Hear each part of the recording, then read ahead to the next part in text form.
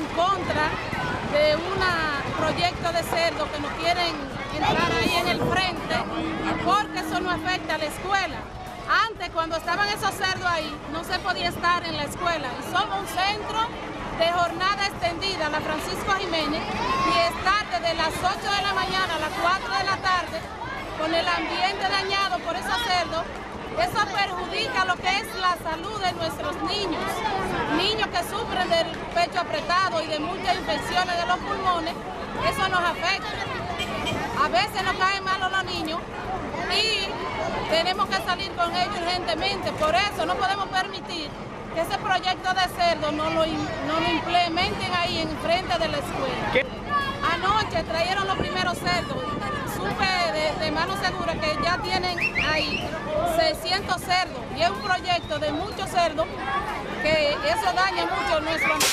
La familia Abreu, a las autoridades de medio ambiente que vengan a intervenir porque eso daña la salud de nuestros estudiantes. Al distrito 0605 de la B, Francisco Jiménez, Bárbara Durán. Porque eso no contaminaría nuestra comunidad, al igual que el medio ambiente, y también nos haría mucho daño a todos nosotros los estudiantes. Y por tal razón no queremos esos puercos en nuestra comunidad.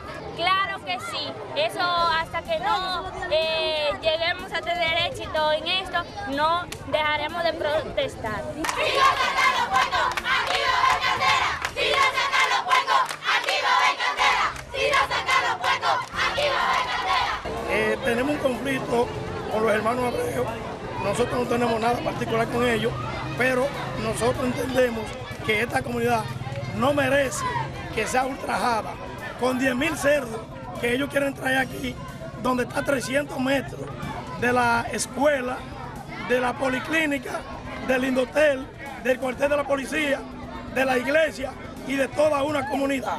Nosotros tajantemente estamos en contra de eso y vamos a echar pleito a donde ellos digan, aquí, allá o donde quiera que sea, porque para acá ellos no van a venir a contaminar ni a dañar nuestra comunidad.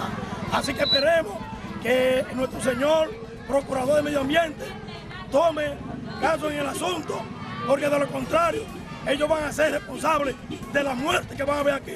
Porque aquí vamos a echar el pleito como ellos quieran. No queremos puercos, ni queremos gente mala aquí en esta comunidad. Abelito Jiménez los puercos, aquí va a haber candela. Si no sacan los puercos, aquí va a haber candela. Si no sacan los puercos, aquí va a haber candela. Ahora mismo nos, encontramos unidas en lucha permanente para que esta persona, que aparte de que son familia de nosotros, gente que uno siempre lo ha querido, no han querido pasar por arriba haciendo ese proyecto de contaminación. Un, un, foco de contaminación donde nosotros en la comunidad no podemos vivir al lado de eso porque esta escuela con tantos niños que están arriesgando su salud, su vida, también la policlínica, la iglesia y el centro de Indotel, todos nosotros, personas envejecientes de esta comunidad que están sufriendo de muchas enfermedades. Una producción de NJ Productora. Acceso sin límites.